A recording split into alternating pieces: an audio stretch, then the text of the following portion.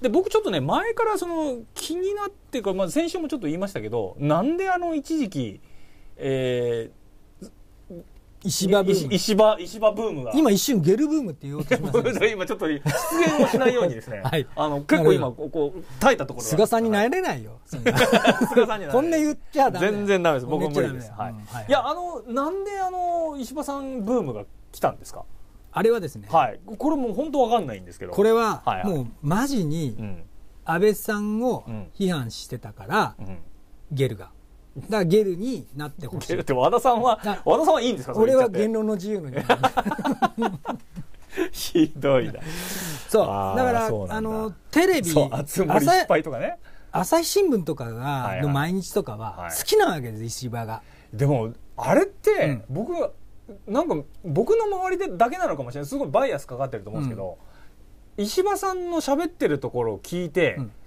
感心したとかうんっていう人あんま聞いたことないんですけどね、そう。んなか気持ち悪いじゃないですか。あなんか結論。い結やいやいや印象として印象としてですよ。いや気持ち悪いって人が多いんですよ。あの僕は分かんないですね、はい。喋り方と顔を見てると、はい。なんかもう何話してるか頭に内容入ってこないじゃない。すっ飛ぶんですよねそうそうそうそうそう。あれこの顔を見てるとどうでもいいやなんか言ってる時そうあそれにつけても気持ち悪いなっていう感じ。いやいやいやいや。うん、なんですかね。いや、うん。確かに言語は迷路ではありますよね、うん。言語迷路意いや味意味不い明瞭でもちょっとやっぱ喋り方もうん。気持ち悪いんですよ、だ今日電話だけでも 顔がないのに電話だけでもやっぱそれは十分表現してましたよ。だから あのー生理的にそうね。僕の周りでも生理的に無理って人結構多いんですけど、これはテレビが絶対にうん。あのー立憲民主党寄りの政治をしてほしくて、うん。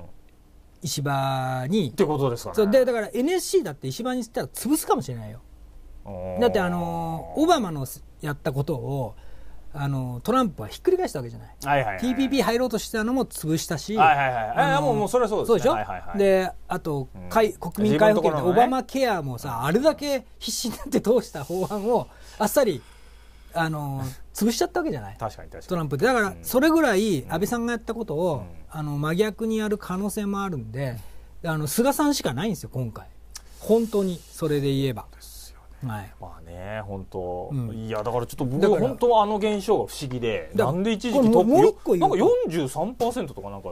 そう。だって 43%30 何パーセント。なんかとにかく日本の中での人気が一時期あっと一瞬ですけど1週間ぐらいですけど圧倒的でした。はい。ね、でこれもう一個言うと、うんうん。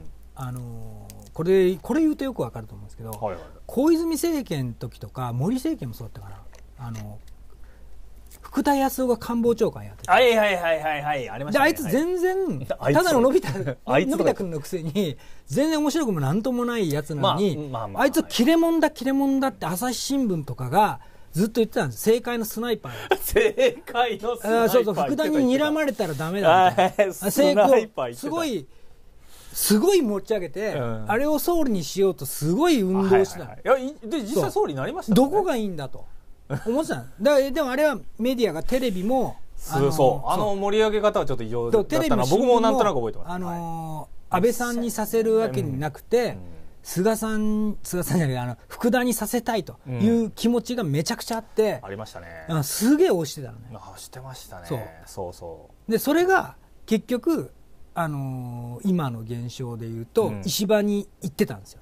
だからテレビテレビとか新聞大手メディアは、うん。あの時は福田にさせたかったし今は石破にさせたかった、うさせたかったっていうはいことなんか？ねいやーでもあの本当ちょっとは異常、異常だなと思いました。僕だから、うん。周りで石破さんって言ってる人いいないし、あと民主党政権が出る時も大騒ぎして。ああ民主党政権の時は大絶賛して応援してまあ民主党政権の時は異常でしたね。したじゃない。はい。はい僕あの、ここでも行ったことありますけど久野さんと外歩いててうん。後、楽園の近くかな水道橋だからあの辺の近くを歩いててですね、でなんかうわーでその時ほらあの当選ってことになってこれで政権がひっくり返るっていう時に、うんえーそこの辺にいたおおばちゃんたちが出てきて「やったわ!」っつって我々に向かって「これで民主党政権だから日本が良くなるわよ!」みたいなこと言われたっていう、はい、ありますね しらーっとしてたんですけど「はいはいあそうですか!」みたいな感じで。はいやりましたけどその後の悪夢がいろいろもうねましたけど、本当もうはいあの時期待した人はね、うんでもあの鳩山とかがいてなるわけないじゃない、はい新しい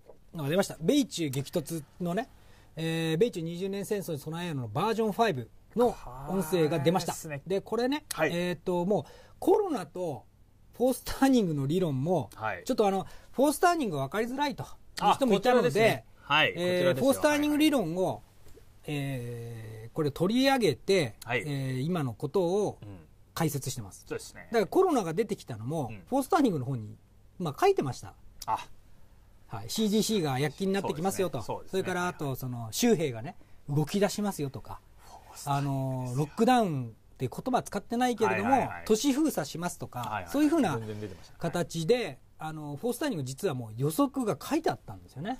なので、はい。我々は米中激突しますよって話をするときにフォースターニングの話も今までやってきたんですけど、まあ、ちょっともう一度フォースターニングをに焦点を当てて、うんでコロナもまあ当然焦点を当ててで米中激突のところもね、あのー合わせてねだから今まで米中4まで聞いてきた人にもはい。当然わかるし、あとはフォースターニング初めて勉強したいなという人もああこちらね、はい、もうこれここを知っときゃいいよというところをすごい。解説しました。あの僕もその、これねスライドとかあるじゃないですか、はい。うん非常にあの分かりやすいですね。あの、はい。本を読むよりも、はい。これこう言っちゃなんですけどあ。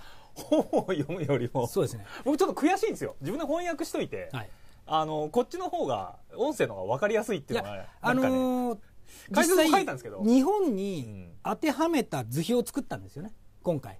ああそうです。そうそう、だから、あの、これれ、フォースターニングってアメリカの、まあ、そうです。80年周期説なんですけど、日本の80年周期説を別途作ったんですよね。そうです。そうです。それがありますんで、はい。あの、非常にわかりやすいというふうに思います。来ましたね。ははいいはい。ということで、あの世の中ね、いろんなこと起きてるというのはうん。どういう点かということで、一応これ、あの期間限定で。期間限定で、はい。後からですけれども、ええ。あのミレニアル世代についての解説を奥山さんが音声で、あのそうですね。はい。期間限定でねあのね申し込んでくれた方には出しますんで、これ、はいあのえー今後の中国、アメリカ、日本のミレニアル世代が世界を作るということがアメリカでは言われてるわけですよね。でなぜミレニアル世代なのと？じゃあミレニアル世代って何？っていうのいろいろ疑問があると思いますのでそれはもし聞いていただけたらはい。というふうに思います、そうですね。だいぶまとめてますね、うん。あの日本であんまり入ってきてないんですけど、はい。あのフォースターニングおよび昔のジェネレーションってね、はい。昔の古い本も含めてですね、うん。はい。あのニール・ハウの新しい情報なんかも全部入れて、はい。はい。えー新しい世界がどう新しくなるかっていう話をですね、はい。しております。そうですね。はい、はい。冬の間に変わるね世界を、はいっていうことですね。ということでまあいろいろ、あのー今後起こることをね、あのー。凝縮して伝えております、はい、どのどの世代もも生き延び方が違うんですよね。あそうなんです。あそそれをちゃんと書いてますその話そうですそうですそうです、はい段階の世代は段階の世代の人たちの生き残り方生き残りあるし、あのーまあ、僕とか奥山さん世代はどうするか、うん。で和也さんとかみたいな、うん。えっとちょっと下の世代、ね、下の世代、はい、あのミレニアル世代ですけど彼らはどうなるかということもあります